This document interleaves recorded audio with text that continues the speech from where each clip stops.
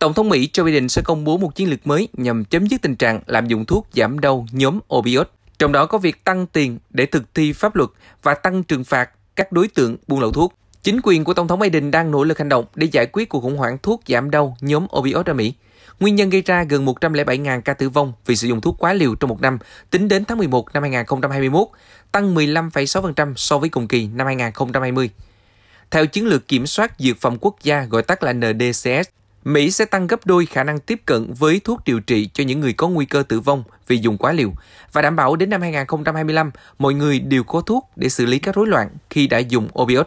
Vấn đề lạm dụng chất gây nghiện đã tăng vọt tại Mỹ trong bối cảnh đại dịch COVID-19 do nhiều chương trình điều trị bị ngừng hoặc hủy bỏ, trong khi tình trạng tiêu thụ rượu và ma túy gia tăng.